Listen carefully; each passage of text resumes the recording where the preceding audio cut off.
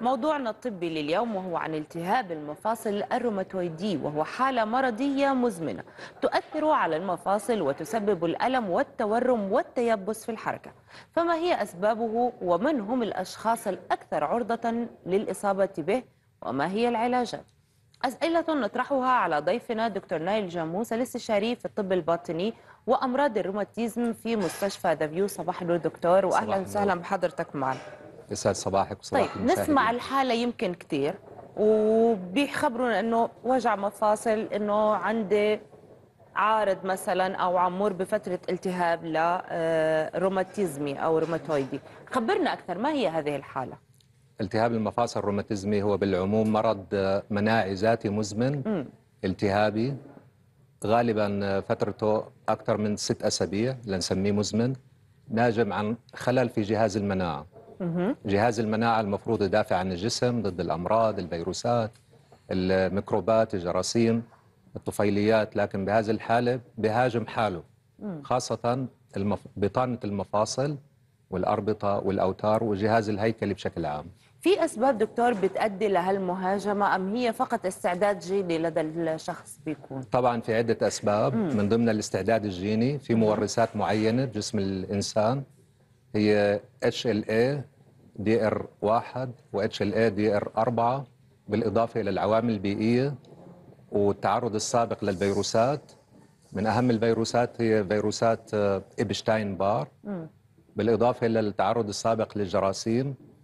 كمان من الأسباب ال- المتهمة بإحداث التهاب المفاصل الرثواني هو التدخين وزيادة الوزن. بالإضافة في نظريات بتحكي إنه في آه، بكون في التهاب بالأنسجة الداعمة بالأسنان والتهابات لسه مزمنة. آه. طيب دكتور هل يعني بنسمع دائما أو تشيع الإصابة به عند كبار السن؟ هل هناك فئات معرضة بصورة أكبر للإصابة بهذا الالتهاب مثلا النساء عن الرجال أو الكبار عن الصغار أو غيرها؟ بالحقيقة ال- الواقع بالعكس. آه. التهاب المفاصل الرثواني يصيب الأعمار المتوسطة والشباب من عمر العشرين لعمر الخمسين. مم. كما أنه يصيب طبعا كبار السن والأطفال حتى الرضاع. مم. نسبة إصابة النساء أكثر من ثلاث مرات من نسبة إصابة ال- الشباب أو الرجال. يا ساتر. السبب غالبا سبب هرموني. مم. غالبا هرمون الإستروجين. طيب. دائما آه، يتوجه المريض يعني مش من الأمراض اللي بنعرفها لحالنا مش مثل الصداع. مرض يحتاج إلى تشخيص. ما هي الأعراض التي يشعر بها المريض؟ وتدفعه لزيارة الطبيب. من أهم ال- في عندنا أهم ثلاث عوارض أعراض للالتهاب المفاصل الرثواني ستيفنس هي اليبوسه ال- اليبوسه الصباحيه مدتها من نصف ساعة بعد ال- الأمر. أين تصيب بالضبط؟ عم نحكي أيدي أو تصيب؟ الأصابع. الص... آه، تصيب المفاصل الصغيرة بشكل عام خاصة مفاصل الأصابع والمعصمين هي أكثر مفاصل ممكن تنصاب صحيح. بالإضافة ممكن إصابة الركبتين وإصابة ال- إصابة مفاصل ال- القدمين والكتف مم. والمفصل الحوض صح. لكن أشعة تصيب المعصمين ومفاصل الأصابع مهم. اليبوسة الصباحية مميزة بالمرض بالإضافة إلى ال- التورم swelling وبالإضافة إلى الألم ألم شديد عند كبار السن ممكن الأعراض ما تيجي بشكل typical وصفي. بيجينا ناس ك- كتير عندهم حرارة مجهولة السبب نقصان وزن قلة شهية هي اسمها systemic سيمتوم إذا تتبين أعراض جهازية. نعم تتبين الأعراض وتتبين المؤشرات. بعد التوجه إلى الطبيب كيف يكون الفحص؟ يعني كيف يتم اكتشاف المرض؟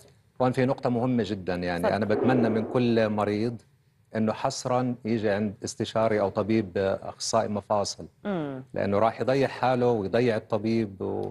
ليه؟ ويضيع كل شيء ال- المرض شائع ما له نادر يعني أكثر من 1% ممكن 2% حتى من عموم السكان مم. آه السبب المهم أنه طبيب المفاصل لازم ياخذ قصة مرضية مضبوطة فحص سريري بالإضافة إلى ultrasound echo لازم نسوي echo للمفاصل لكل لكل المرضى بالإضافة للتحاليل المخبرية. هلأ التحاليل المخبرية إذا المريض يعني إذا التحليل طلع إيجابي الرو- ال rheumatoid factor أو في حتى تحليل نوعي أكثر منه anti-CCP بيطلع إيجابي بنسبة 60 ل 70% تمام. لكن في نسبة 30 ل 40% تحاليل بتطلع سلبية.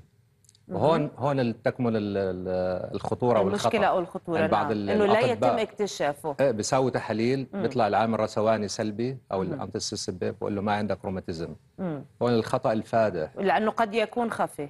أكيد في عندنا seropositive يعني مرض روماتيزمي. أو التهاب مفاصل الروماتيزمي سلبي نعم. المصل أو ايجابي المصل. مم. طيب دكتور سؤال يعني الاكتشاف المبكر هل يؤثر على تطور الحالة أو آه، سرعة العلاج؟ هل تؤدي إلى نتائج أفضل؟ يعني لماذا هناك خطورة في حال تم تشخيص هذا المرض سؤال مهم بخطورة؟ مهم جدا جدا. عند الكشف المبكر عند مريض الروماتيزم بنعطيه فرصة للعلاج. نعم. خاصة هلأ في ثورة بأدوية المفاصل. لأن لا يقل عن 20 دواء. وأثبتت فعاليتها. زمان ما كان في مجال للعلاج أو الحصول على الهجوع الكامل. هلأ لا في في حالات كتير كتير. ممكن تتعالج وتوقف الدواء. تتعالج تماما دكتور. تتعالج تماما. آه. تتعالج تماما. أو على الأقل الحصول على مرحلة الهجوع. مم. إنه إنه يكون الالتهاب المرض ساكن وغير واضح تمام. أبدا يعني يؤثر. النوم. نوديه للنوم يعني. الرجوع الكامل. وهذا بيجي نتيجة ال- ال- الكشف المبكر والبدء فورا بالعلاج بدون أي تأخير. هذه الأدوية ما هي آلية عملها؟ الأدوية بشكل عام أدوية ال- التهاب المفاصل مانا مسكنات مانا أدوية أوكي أدوية التهاب بس هي بتعمل على جهاز المناعة. واسمها الأدوية المعدلة للمناعة وليس المثبطة للمناعة. هون بصير في كمان آه، يعني صح لأنه بيشتغلوا عكس بعض تماما فهم. صحيح. هي بتعدل المناعة اسمها DMARD therapy. نعم. يعني disease modifying anti-rheumatic drugs كان بدي أساعدك بس مستحيل. الأدوية المعدلة للمرض. نعم. مانها المثبطة لجهاز المناعة. بالعكس جهاز المناعة عنده خربطة يعني نوع من الجنون. صحيح. بنقول له وقف هيك ما بصير. هاجم حالك. هاي الأدوية بتركلج. بتساوي control تمام. على جهاز المناعة. في عندنا الأدوية التقليدية مثل hydroxychloroquine sulfasalazine ال- وبالتأكيد تتعدد أسمائها التجارية. ميتوتريكسات نعم. ميتوتريكسات. بس لكن هلأ في أدوية جديدة لا يقل عن 16 دواء جديد. biological therapy مم. وأثبتت فعاليتها. أثبتت فعاليتها بشكل ممتاز. إذا سرعة التشخيص سرعة الكشف وسرعة البدء في البروتوكول العلاج المناسب بالتأكيد. فورا يعني بنقول للمريض إذا شخصناك يفضل تبلش بأول يوم من أول يوم بالعلاج. ممتاز. طيب آه، آه، ربما الروماتويد هو من ال- الأمراض اللي بتتعب الإنسان. ألم المفاصل فيه جدا عالي بيأثر على سهولة و آه، س- يعني انسيابية الحركة. خلينا نقول دائما بيكون في آلام هل يترافق العلاج مع توصيات من الطبيب للمريض ليتعايش بصورة أفضل ليحصل على نتائج أحسن أو في تغيير في نمط حياته ربما ليساعد حالته؟ طبعا حكينا إنه المريض لازم يبلش بالعلاج. ال- في علاج الطبيعي بيشارك بنسبة 20 30% تحسين الالتهاب آه، منع منع ال- التيبس منع حتى التشوهات وتقوية العضلات والأربطة. بالإضافة إذا كان المريض مدخن حصرا لازم يمنع التدخين. لازم يوقف. الدخان. وإذا كان آه، زايد الوزن تنقيس الوزن. طيب يعني نتمنى أن تكون هذه ال- النصائح غطت الموضوع بالنسبة لمشاهدينا ودائما نعود ونذكر في كل حلقة ضروري نرجع ونذكر فيها أنه هذه الفقرات غير كافية أبدا لتشخيص المرض أكيد. أو لتناول أدوية أو لأي شيء هي فقط للإضاءة على الأعراض وفي حال مشاهدينا كانوا آه، يشعرون بأي من الأعراض أو تشابهها معهم التوجه بالتأكيد إلى الطبيب. يعني هاي النقطة اللي لازم الواحد يركز عليها. هو حصرا طبيب المفاصل. وطبيب المفاصل. لأنه كل يوم عم نشوف حالات تاخر التشخيص نعم. ووصلت للإعاقة. نعم. يعني بتمنى من الناس يفهموا هالنقطة.